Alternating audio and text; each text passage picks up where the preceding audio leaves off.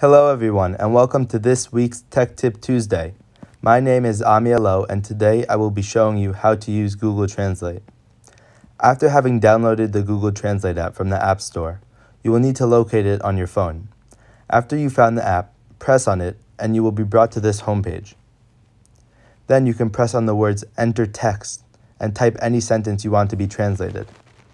For example, you can type, Hi, how are you?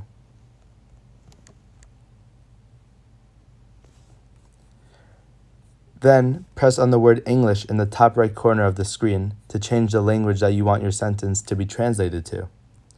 For example, you can translate the sentence into Spanish. And the results are at, in the bottom of the screen. That was this week's Tech Tip Tuesday on how to use Google Translate. If you enjoyed this tutorial and you are interested in enrolling in a full class with us, please visit mittlerseniortech.com. Thank you for watching.